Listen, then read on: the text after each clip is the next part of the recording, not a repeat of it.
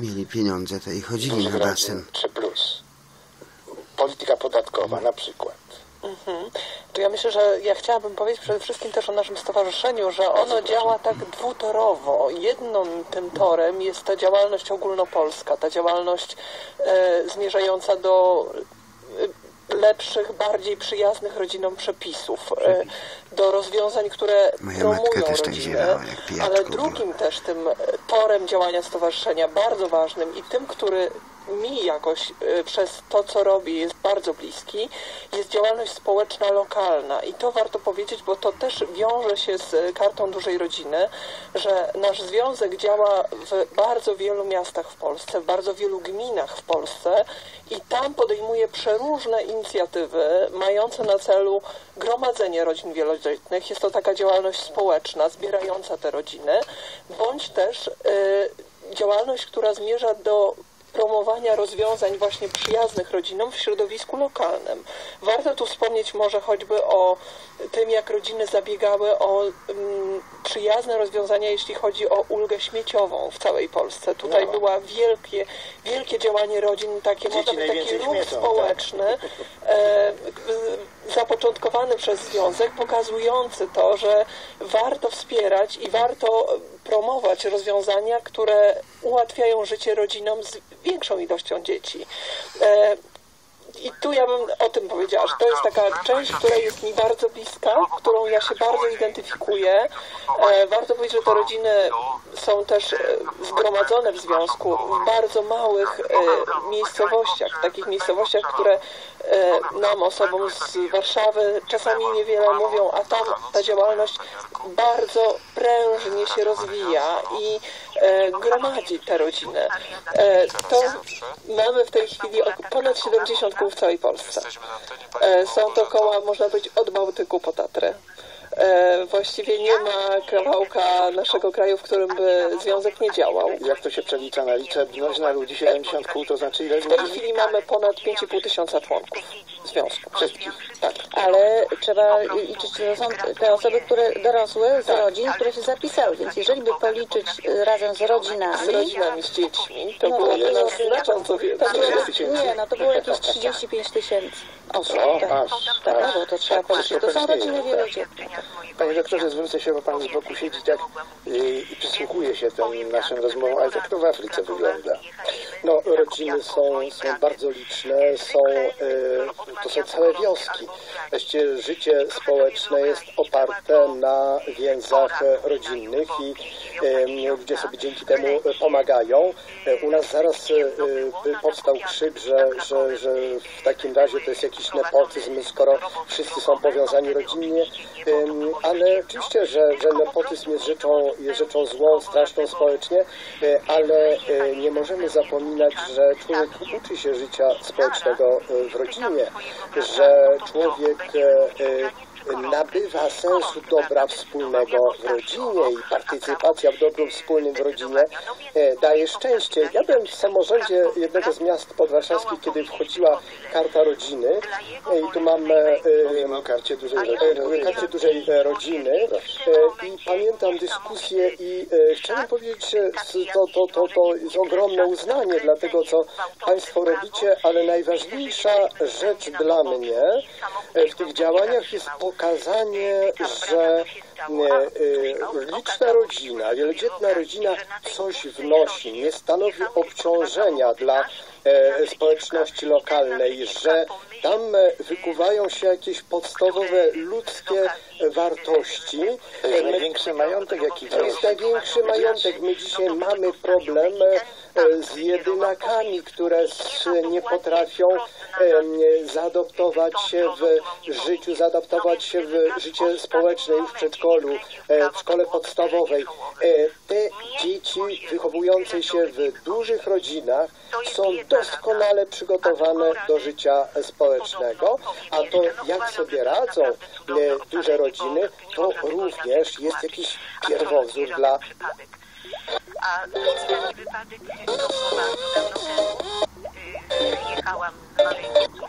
bo ma czwórkę dzieci i jeździ sobie koleją w tę i z powrotem, chodzi do kina, bo ma kino prawie za darmo. Do tej pory nie było. Te rodziny sobie jakoś e, radziły, bo uczyły się gospodarności. To e, naprawdę pokazywanie dzisiaj w naszym społeczeństwie walorów e, wielodzietnej rodziny jest niesłychanie ważne społecznie. Pani Janno, to w takim razie wracamy do tej ekonomii, bo ona jest bardzo ważna jednak w życiu rodziny.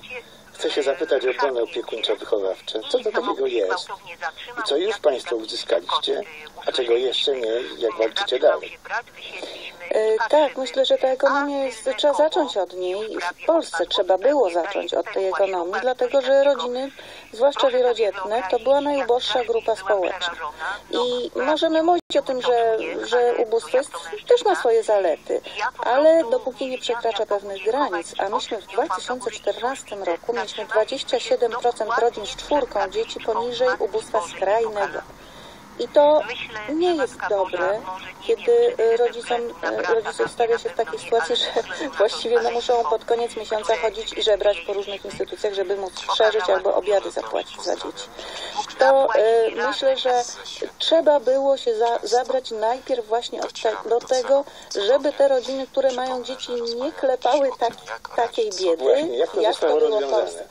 I teraz Pan mówi o rzeczy bardzo ważnej, o tym obonie opiekuńczo-wychowawczym, który, y, o którym mówiliśmy, to był taki kolejny instrument, który żeśmy propagowali od 2014 roku, który miał być w naszym zamyśle takim świadczeniem bezpośrednim do rodziny, gdzie jest dziecko, w naszym, y, y, w naszym, naszej koncepcji do lat czterech. To było świadczenie obliczone przez naszych ekonomistów na 500 złotych.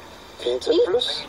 I myślę, że w jakiś sposób no, y, też y, no, jest tutaj jakaś analogia. Y, Nie, nie chcemy sobie przysłuchi- przy, przysłu, przy, y, Właszczać. przywłaszczać y, zasług, czy przypisywać zasług, ale jakaś analogia wyraźnie tutaj jest, może jakaś inspiracja, bo słuchali widzieliśmy, y, bo widzieliśmy, że no, prawda, to jest właśnie ten instrument, myśmy mówili, że to właśnie teraz to trzeba zrobić, tak? I to się stało i y, bardzo jesteśmy no bardzo jesteśmy z tego zadowoleni. Stało się więcej niż żeśmy marzyli, bo myśmy mówili o tym, że to powinno, m, no biorąc pod uwagę y, problemy budżetowe, tak, że to powinno obowiązywać do czwartego, szóstego roku życia, natomiast m, przyklaskujemy temu. Tak, jeśli się znalazły środki budżetowe i to może funkcjonować do 18 roku życia, to to stawia na nogi rodziny, które dotąd borykały się naprawdę z poważnym niedostatkiem.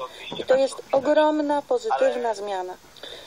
No i nareszcie powinniśmy zrozumieć, że to nie jest wydatek, to nie jest obciążenie budżetu. To jest po E, prostu Muszę wykonanie powiedzieć, ile, ile jest braku mądrości w, w, w wypowiedziach publicystów, którzy mówią, czy nas stać, czy nie stać. To jest Moja najbardziej trafiona tak inwestycja, inwestycja w dzieci. To nie jest Tak, ja, wydatek. my dostajemy listy, które po prostu, ja mam łzy w oczach, kiedy, kiedy opisują rodziny swoje sytuacje.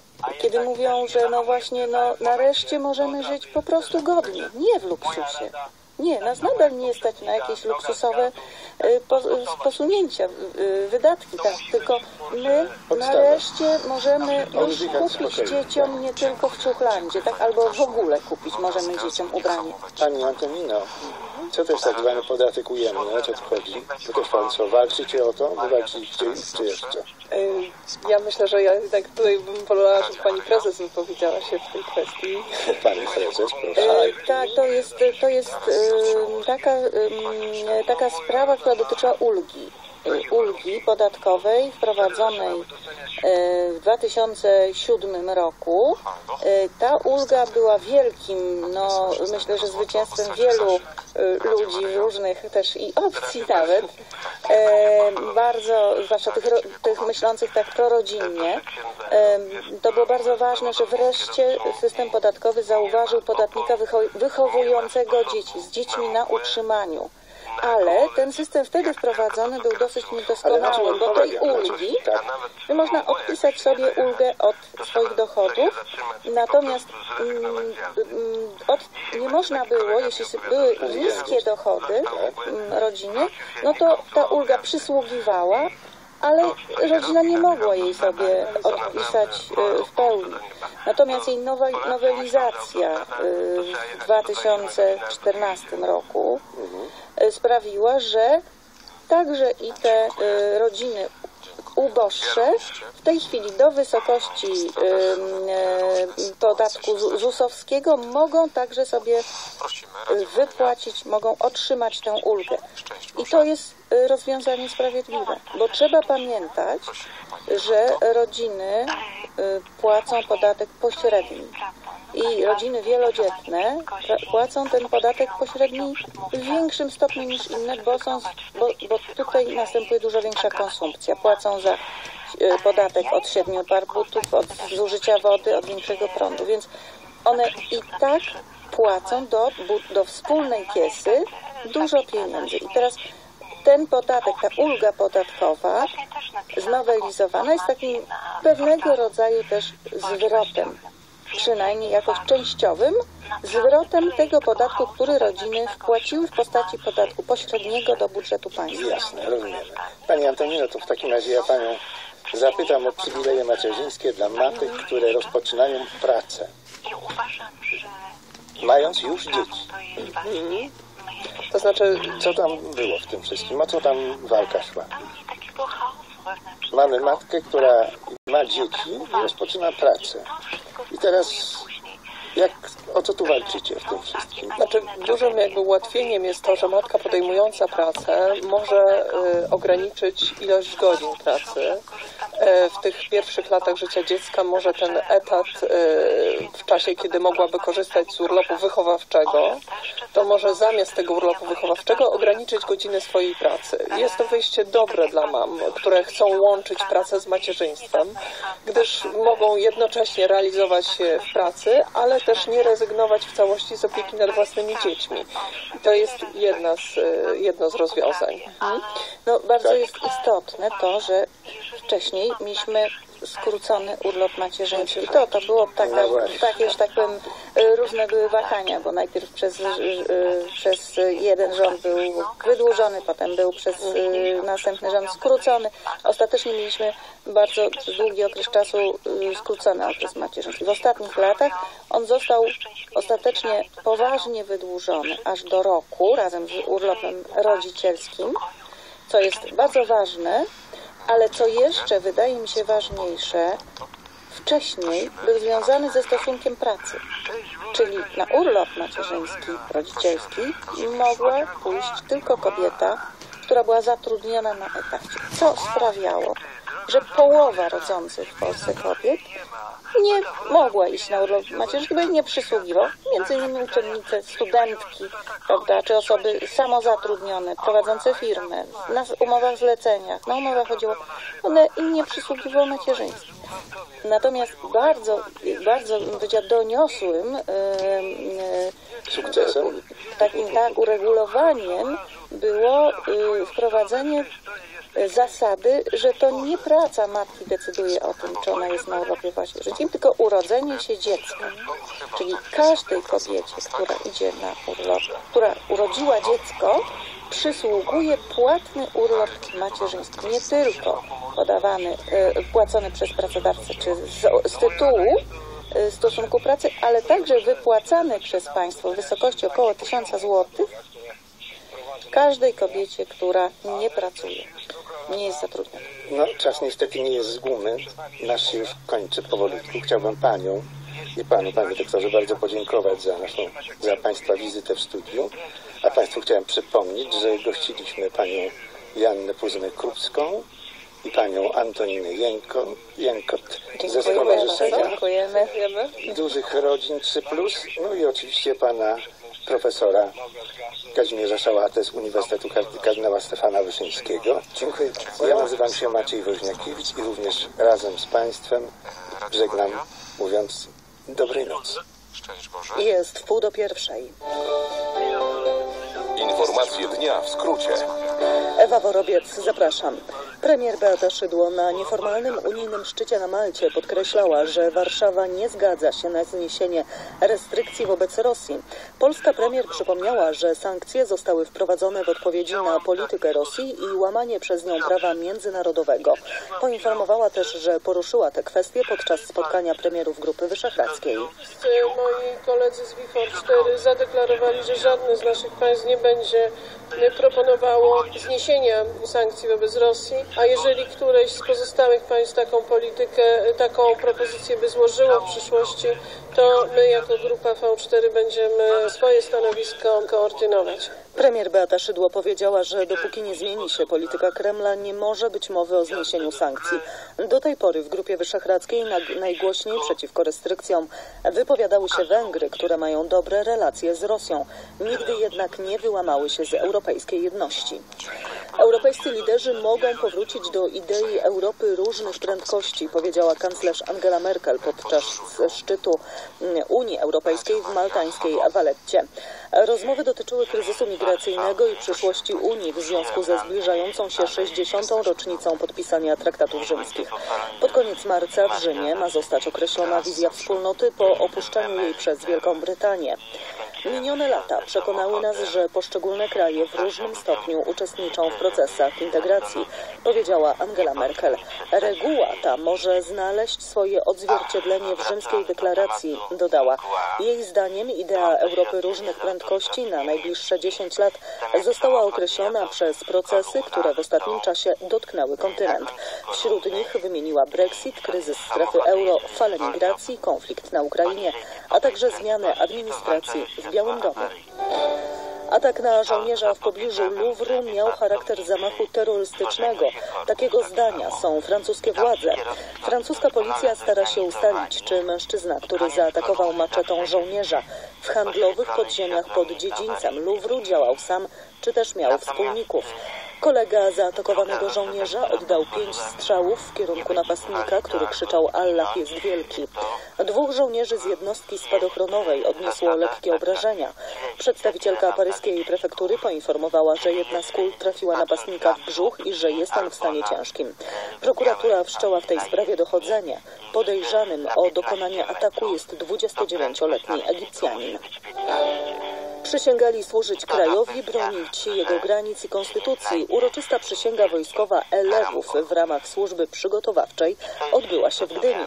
Przed okrętem Muzeum ORP Błyskawica ślubowanie złożyła prawie setka mundurowych. Towarzyszyli im najbliżsi. Wracamy do naszej dyskusji. Jak sobie we podróży prowadząc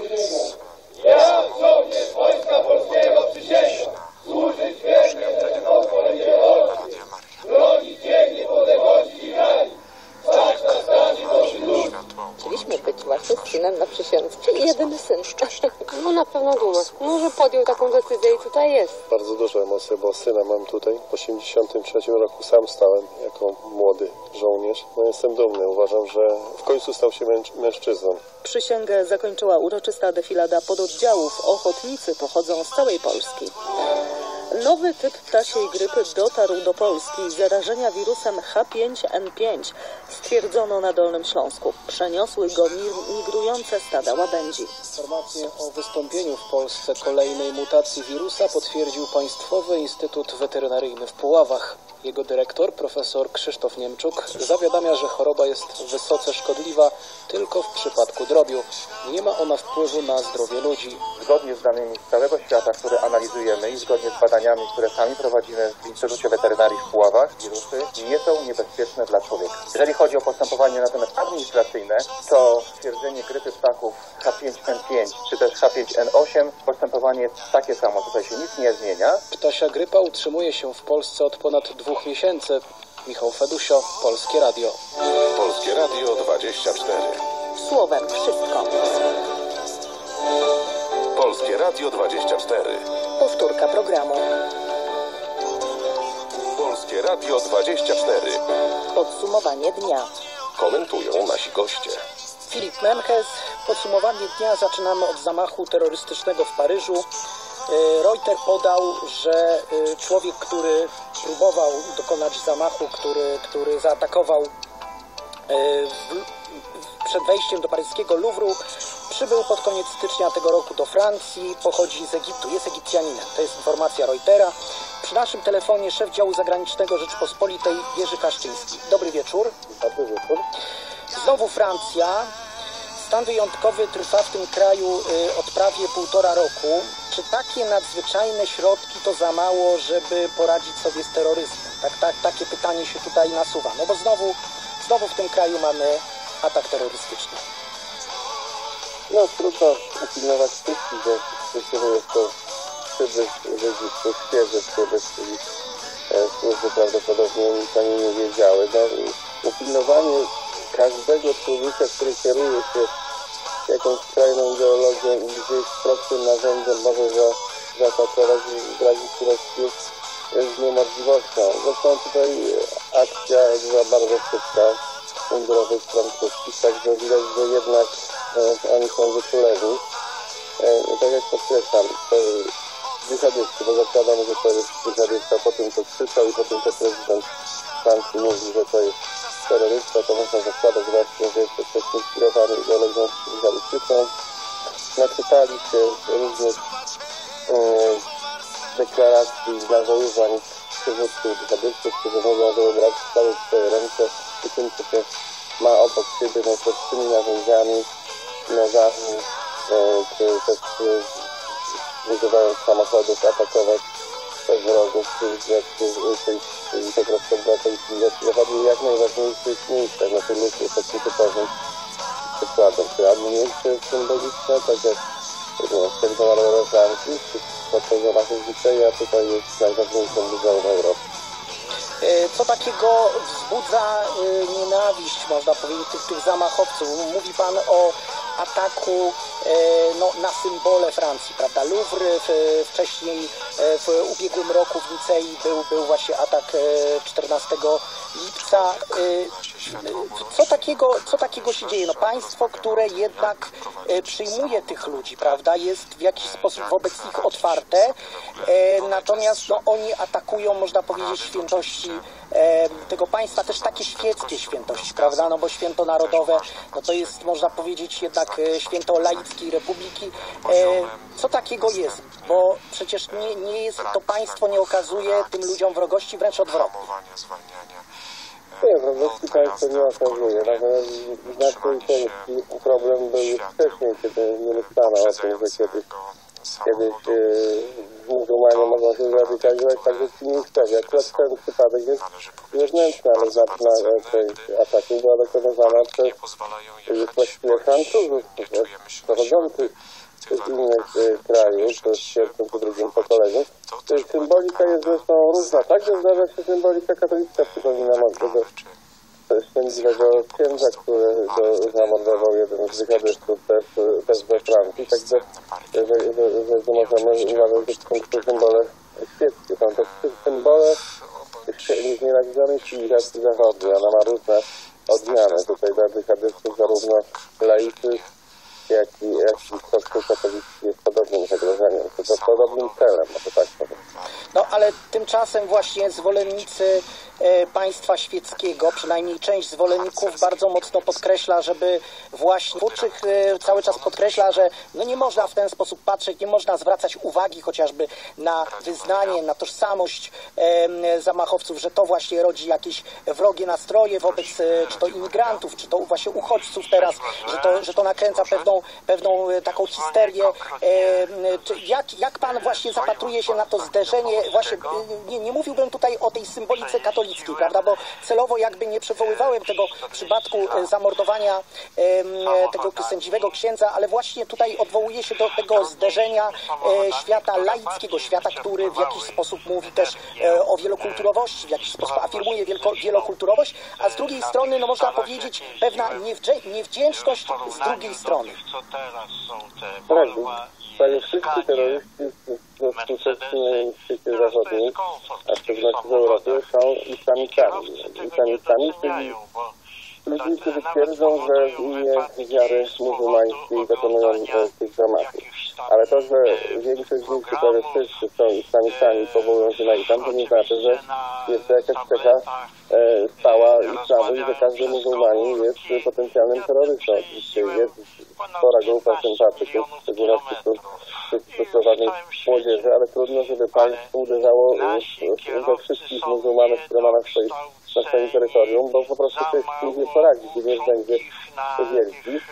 We Francji no, prawdopodobnie około 7 milionów tak jest muzułmanów i przecież ich nie będzie mniej procentowo, tylko będzie ich więcej. Jeżeli państwo prowadziłoby krucjatę przeciwko wszystkim muzułmanom, no to będzie miało podobną sytuację, jak ma e, jak, musiałoby działać podobnie jak Izrael na, na terenach okupowanych. Zatem musiałoby być jakieś pozamykane e, części miast, e, które są zamieszkane przez niemuzułmanów i, i, i od, po prostu odgrodzić się od reszty. To jest jakaś zupełnie wizja e, nie, nie do utrzymania. No, bardzo trudno jest balansować, no ale trudno też e, utrzymywać jakąś ideologię antyislamską. To, to, to robią to populiści przesadnie oczywiście. No ale ponieważ Państwo od czegoś takiego strzelnicy liberalne e, unikają czegoś takiego, no to w, w tych nieformalnych kanałach, głównie w internecie, islamofobiach się w ten sposób unikają czegoś takiego, no to w, w tych nieformalnych kanałach, głównie w internecie, islamofobiach się w ten sposób zupełnie niekontrolowany i wiadomo do tego, co zdarzenia to doprowadzi. Mhm. E, Teraz mamy taką sytuację, no dzisiaj był ten zamach e, i jednocześnie e, na Malcie mieliśmy nieformalny e, szczyt e, Unii Europejskiej. E, Politycy europejscy rozmawiali o kwestii powstrzymania e, nielegalnej imigracji z Libii do Europy. No więc e, znowu mamy e, tutaj ten wątek przeciwdziałania e, terroryzmowi. E, Premier Beata Szydło oceniła, że deklaracja w sprawie migracji złożona podczas tego szczytu jest dla Polski satysfakcjonująca. E, O dokumencie przyjętym podczas debaty szefowa rządu mówiła na konferencji prasowej zorganizowanej po obradach. Stanowisko 28 państw dotyczące migracji jest dla Polski satysfakcjonujące, dlatego że z satysfakcją mogę stwierdzić, że zmiana kierunku filozofii dotyczącej polityki migracyjnej Unii Europejskiej w dużym stopniu, w bardzo dużym stopniu, wynikająca między innymi ze zdecydowanego stanowiska Polski, z tego, że cały czas podkreślaliśmy, że jest potrzeba rewidowania tych decyzji, które zostały podjęte w Unii Europejskiej. Premier Beata Szydło powiedziała, że wspólnota powinna skoncentrować się na rozwiązywaniu problemu migracyjnego poza Unią Europejską, między innymi na ochronie granic i pomocy humanitarnej. E, No właśnie, i tutaj chyba dochodzimy do takiej sytuacji, w której no, różne państwa europejskie mają względem e, Afryki Północnej różne interesy, różne pomysły. E, Czy tutaj ten, ten szczyt dzisiejszy w jakiś sposób posuwa nas do przodu, jeśli chodzi o bezpieczeństwo Europy, no i w tym również Polski? Gratulacje tych 15 To jest pomysł, żeby imigrantów powstrzymać, zagłać ich handlą na jakieś łódki, zanim zapłacą e, handlarzom czy różnym przemytnikom, nie jest e, pomysłem polskim, to jest, jest już można powiedzieć niemalże powszechnym e, pomysłem e, przywódców unijnych. To jest oczywiście konieczność, dlatego że bardzo niewiele państw godzi się na rozdział tych ludzi, którzy przedostaną się e, przez e, Morze Śródziemne. To niekoniecznie oznacza, że, że rozwiązany jest problem tych, którzy zaczynają najwcześniej, a podział tych którego Polska nie chce zrealizować, dotyczy tych ludzi, którzy już wcześniej tu byli, w związku z tym nie, można e, tego tak jednoznacznie łączyć. Natomiast niewątpliwie jest tak, że w tej chwili ten dawny główny flag, czyli z Turcji na greckie wyspy, to prawie przestał w ogóle funkcjonować dzięki porozumieniu unijnemu z prezydentem Turcji. W styczniu przepłynęło, nie wiem, chyba 1500 osób tylko. To jest kilkadziesiąt razy mniej niż rok temu. I cały, cały strum płynie właśnie przez środkową część Morza Śródziemnego, czyli za- zaczął się z Libii, a także z Tunezji. Tunezja jest państwem demokratycznym i w miarę uporządkowanym, to nie znaczy, że nie narażonym na na ataki terrorystów, bo takie były i teraz się dosyć łatwo można dogadać, przynajmniej próbować. Libią jest ten problem, że jest tam kilka ośrodków władzy, kompletny chaos i tutaj każda miejscowość ma własnych katastrów, ale no, nie, nie, nie można czekać, aż się skończy wojna domowa w Libii, tak? robić wszystko, i żeby e, imigrantów zatrzymać po stronie libijskiej. Najbardziej zainteresowani są Włosi, no bo to do nich migranci. I jakby Europa jako cała nie to ona jest skłonni wydawać grube miliony euro, żeby właśnie przekupywać miejscowe władze, czy też finansować te e, ośrodki, w których będą imigranci przetrzymywani, żeby nie, nie mogli dojść do domowa i stąd na ulicy. E, Przed e, szczytem na Malcie przewodniczący Rady Europejskiej Donald Tusk e, zwrócił się w liście do przywódców unijnych i odniósł się w nim innymi do zmiany polityki e, Stanów Zjednoczonych. E, Określił ją jako zagrożenie zewnętrzne dla Unii Europejskiej. E, Donald Tusk podkreślił, że niepokojące deklaracje nowej administracji amerykańskiej sprawiają, że przyszłość Unii Europejskiej jest bardzo nieprzewidywalna. Ja chciałem pana jeszcze zapytać właśnie o pewne rozbieżności. My Widzimy, że Donald Trump to bardzo ostro zaczął swoją prezydenturę. Tutaj odnośnie właśnie polityki imigracyjnej, zakaz wjazdu dla obywateli siedmiu krajów e, muzułmańskich. Czy tutaj e, ta różnica e, polityki imigracyjnej amerykańskiej, właśnie w wykonaniu Donalda Trumpa i polityki europejskiej, takiej bardziej miękkiej, czy to może być jakaś też istotna rozbieżność rzeczywiście? Czy na tym tle rzeczywiście też może, może być jakiś, jakieś napięcia między, między Stanami a Unią? Oczywiście mogą, Trump jest nieprzewidywalny, a w pewnym sensie podurym komentarzem do, do podsunięcia Trumpa i e, zakazu wjazdu dla obywateli siedmiu państw muzułmańskich narodowość tego zamachowca w Paryżu. On jest Egipcjaninem, w związku z Trump by go nie zatrzymał, bo Egiptu nie ma na tej liście, którą wymyślił sobie, wychodząc pewnie z założenia, że dyktatura egipska jest proamerykańska, w związku z tym na tej liście nie ma. To nie znaczy, że zagrożenie terrorystyczne stamtąd jest, takie, porównywalne z zagrożeniem z Jemenu, czy też z, z Syrii. Oczywiście kultura kwestia to jest retoryka. No, pod pewnymi względami ta polityka jest podobna. No, to jest mu- mur na, na granicy lądowej turecko-greckiej, czyli między Turcją a Unią Europejską też jest mur i dlatego ci imigranci nie, nie przebierali się drogą lądową, jakby to największy, największy eksodus, i dopłynęli właśnie ten najbliższy wybrzeża tureckiego e, wyspy. Tylko, że to jest kwestia tego, w jaki sposób to się przedstawia. No tutaj werbalna strona jest bardzo istotna. Może to wszystko y, też y, wynika z tego, że to znaczy ten pomysł z wykluczeniem czy z zamknięciem wjazdu dla tych siedmiu krajów y, wynika e, z tego, że e, administracja Białego Domu uznała, że te, te siedem krajów, władze tych siedmiu krajów niedostatecznie współpracują em, z, ze Stanami Zjednoczonymi właśnie w zakresie bezpieczeństwa, w zakresie wychwytywania terrorystów. Może to e, taki e, argument e, za tym stoi. Czy, jak, jak, jak by się pan do tego odniósł? To jest oficjalnie podany argument, natomiast na tej liście jest Iran, który może nie współpracuje bezpośrednio ze Stanami Zjednoczonymi, natomiast nie wspominam żadnego obywatela Iranu, który w ostatnich czasach dokonał jakiegokolwiek zamachu terrorystycznego w świecie zachodnim. W związku z tym e, no jest to nietrafione, jeżeli chodzi o Iran, a jeżeli Egipt to być może się wymieniają informacjami, ale to jest bardzo prawdopodobne, ale to nie oznacza, że, że zagrożenie terrorystyczne z tego powodu znika, bo prosty przykład jest dzisiejszy zamach dostawy. Dziękuję bardzo. Gościem podsumowania dnia był e, szef działu zagranicznego Rzeczpospolitej Jerzy Haszczyński. Dziękuję bardzo. Polskie Radio 24. Podsumowanie dnia. Komentarz. I przechodzimy e, do kolejnego tematu. Agencja Bezpieczeństwa Wewnętrznego bada sprawę cyberataku na system informatyczny Komisji Nadzoru Finansowego. E, Rzecznik e, Komisji Jacek Barszczewski poinformował, że w Urzędzie Komisji Nadzoru Finansowego zidentyfiko- zidentyfikowana została próba ingerencji z zewnątrz w system informatyczny obsługujący stronę internetową www.knf.gov.pl. Strona została zamknięta. I na ten temat porozmawiam teraz y, z Joanną Świątkowską, ekspertką Instytutu Kościuszki. Dobry wieczór. Dobry wieczór. To na wstępie takie proste pytanie. Czy nasze pieniądze są bezpieczne wobec tej próby ataku? Wygląda na to, że wobec tej konkretnej próby ataku nasze pieniądze są całkowicie bezpieczne, e, dlatego że wszystkie informacje, które do nas docierają, mówią wprost, że celem em, osób, które dokonały ataku, nie były środki finansowe. A co było celem, y, co, y, co, co było istotą jakby tego ataku? Jak, jak można byłoby to głębiej ująć?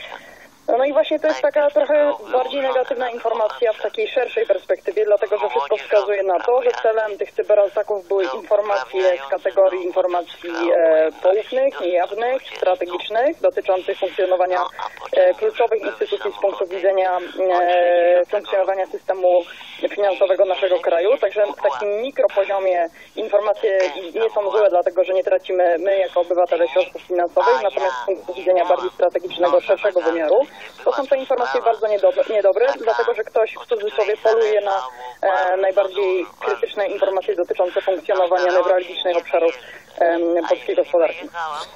Jakie to mogą być newralgiczne obszary? Co, co, co może być konkretnie, co nam może konkretnie zagrażać? Co tego typu ataki mogą spowodować? Wymier, wymiernie, jeśli popatrzymy na to no, w konkretnych jakichś rezultatach dla naszego życia codziennego.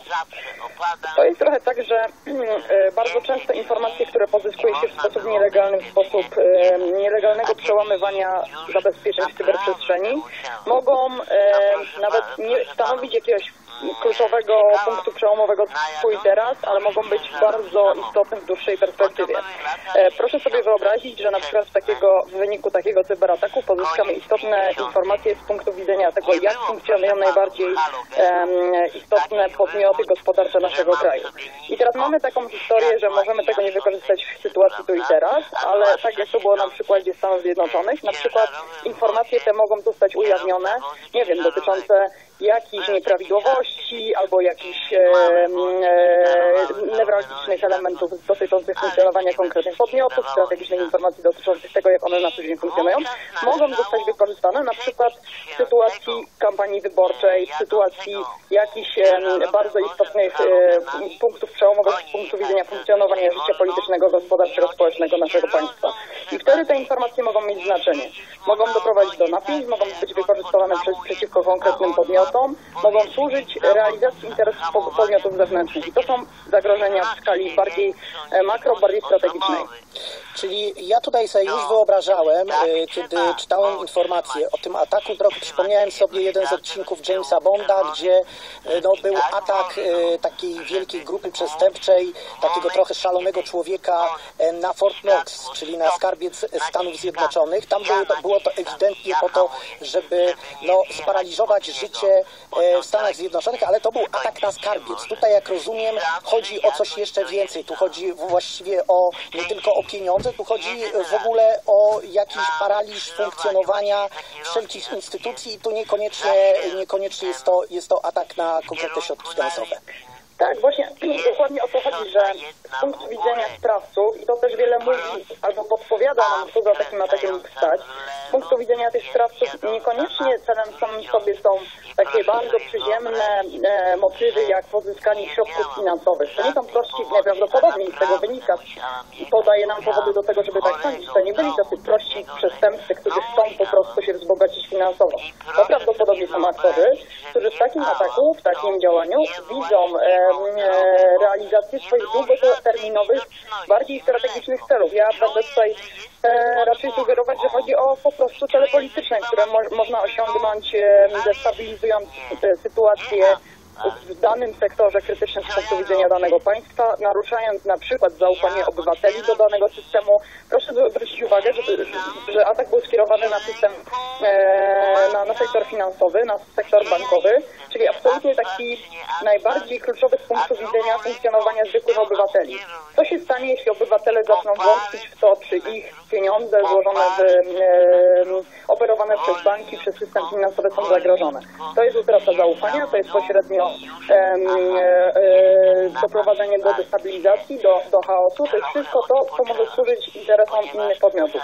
Te inne podmioty to Pani zdaniem są raczej zewnętrzne czy wewnętrzne? Bo to by wskazywało, że rzeczywiście to może być zag- zagrożenie po prostu z wewnątrz.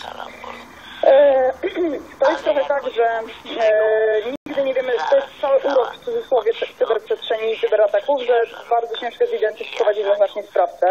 E, to informacje, które spływają i są dostarczane przez ekspertów, którzy są w stanie ocenić na poziomie takim praktycznym oceny technologicznego wymiaru tych czynów, wskazują, że to były ataki zaawansowane, że to były ataki skierowane konkretnie na, na, na, na, na dane podmioty, co mogłoby e, wskazywać na to, że były przygotowane nie przez e, mało zaawansowanych graczy, a raczej przez podmioty, które mają dostęp do zasobów, które są oceniane w, ka- w kategoriach raczej bardziej e, właśnie zaawansowanych. Stąd myślę, wszystkie, wszystkie mm, znaki wskazują na to, że były to ataki, które były wspierane przynajmniej, być może inspirowane, być może przygotowane przy współudziale podmiotów po prostu państwowych, które mają narzędzia do tego, żeby tak zaawansowane em, operacje i kampanie przeprowadzić. No cóż, no, pozostaje nam mieć nadzieję, że nasze odpowiednie służby sobie poradzą z tą sytuacją i z kolejnymi, oby nie dochodziło do, do, do tego typu ym, sytuacji, ale w dzisiejszym świecie jakby w tego możemy się spodziewać. Gościem podsumowania dnia była Joanna Świątkowska, ekspert Instytutu Kościuszki. Dziękuję bardzo.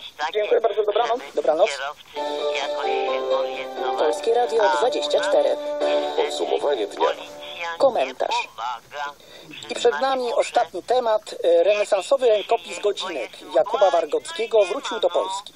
Zabytkowy kodeks z końca XVI wieku, zakupiony przez Bibliotekę Narodową na aukcji w Londynie dzięki, mecena, mecenat, dzięki mecenatowi Fundacji PZU, no bo to właśnie Fundacja PZU sfinansowała ten zakup.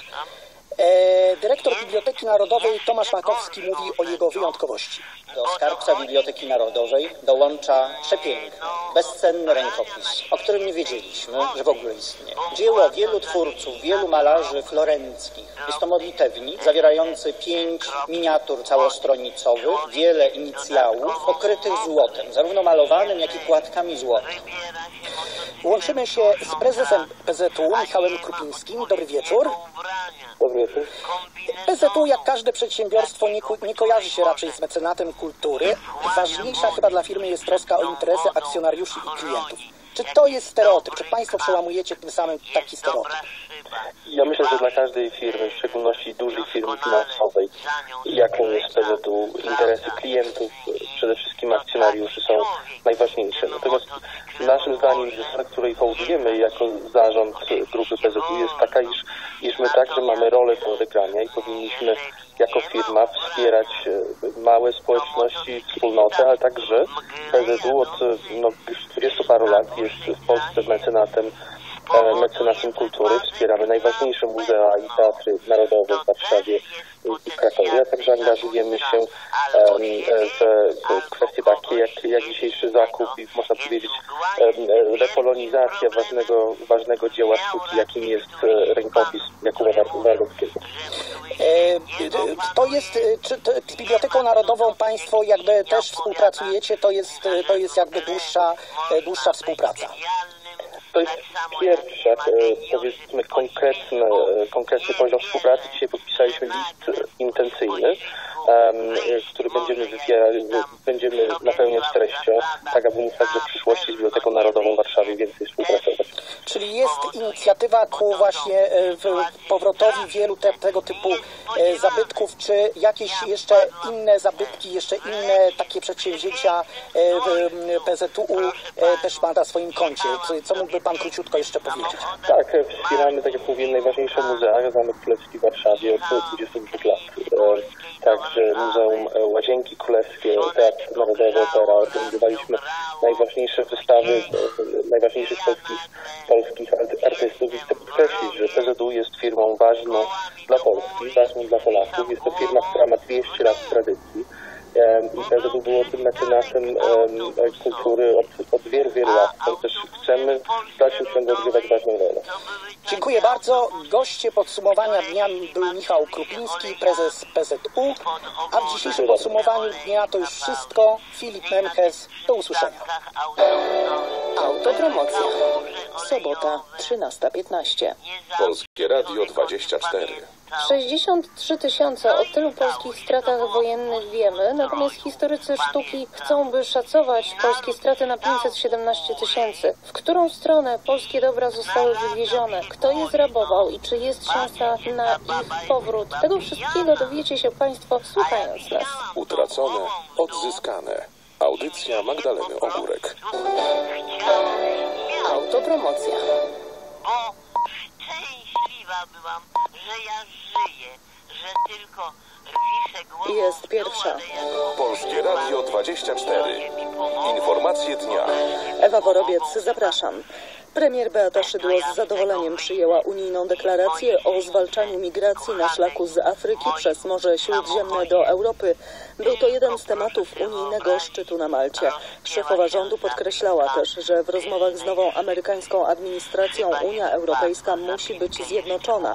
Ponadto premier zwróciła uwagę, że Unia potrzebuje reform. Europejscy przywódcy przyjęli plan, którego celem jest powstrzymanie nielegalnych migrantów, między innymi poprzez wzmocnienie libijskiej straży przybrzeżnej, a także wspieranie lokalnych władz. W ocenie Beaty Szydło to dobra strategia. Chcemy być państwem w awangardzie europejskiej solidarności z tymi państwami, które tej pomocy humanitarnej, politycznej potrzebują. Tematem wielu nieoficjalnych i oficjalnych rozmów unijnych przywódców był Donald Trump. Część zachodnich polityków otwarcie skrytykowała ostatnie ruchy prezydenta USA, ale szefowa polskiego rządu ma nadzieję na konstruktywne podejście Unii wobec Waszyngtonu. Nie powinniśmy myśleć o tym, o czym myśli Donald Trump, tylko powinniśmy myśleć o tym, jakie my powinniśmy zaproponować formy współpracy Donaldowi Trumpowi. Popołudniowa sesja szczytu to okazja do rozmowy o nowej wizji Unii. W ocenie Beaty Szydło wspólnota potrzebuje wielu zmian. Zamiast walczyć ze zmianą, powinniśmy stanąć na jej czele, nie bać się rozmawiać o zmianach, nawet o zmianach traktatów. Marcowe spotkanie w stolicy Włoch ma zakończyć okres politycznej refleksji na temat przyszłości Unii Europejskiej. Z Waletty Karol Darmoros, Polskie Radio.